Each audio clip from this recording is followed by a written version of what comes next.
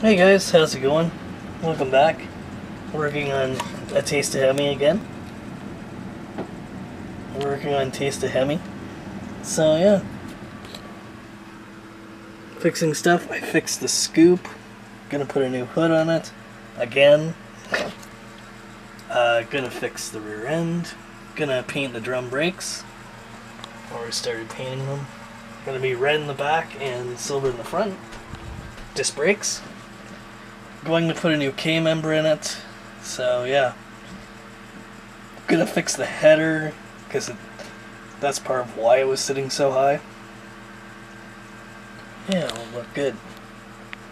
We'll see you later, guys.